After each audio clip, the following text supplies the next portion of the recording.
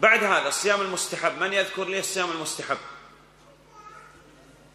تعرف؟ نعم يا أخي. صيام الاثنين والخميس والأيام البيض وصيام ثلاثة أيام من كل شهر وصيام محرم وشعبان. عشر من ذي الحجة دون يوم العيد. مع يوم عرفة لغير الحاج والتاسع والعاشر والحادي عشر من عشرة وغيره وست من شوال. ست من شوال الأولى أن يصوم اليوم الثاني يبدأ بالصيام هذا الأولى والأحوط يصوم اليوم الثاني. نعم. وبهذا يتم الصيام في اليوم السابع. مفهوم؟ نعم يتابع الصيام هذا أولى لكن من الذي يصوم ست من شوال؟ الذي صام رمضان. لأن النبي عليه الصلاة والسلام قال من صام رمضان.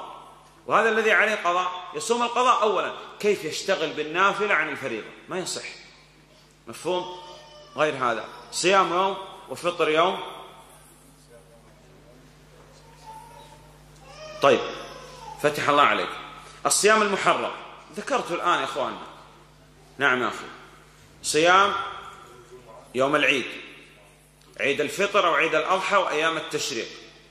وصيام يوم الشك. آخر يوم من شعبان. أو يتقدم بيومين كذلك. وصيام إفراد يوم الجمعة بالصيام. نعم. فماذا يصنع؟ من يريد صيام يوم الجمعة؟ يصوم الخميس أو يصوم السبت؟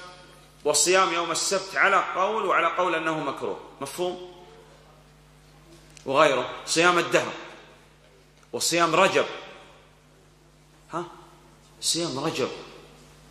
قال الحافظ ابن رجب رحمه الله. لم يثبت شيء في فضل رجب. مفهوم؟ أجلس فتح الله. نعم.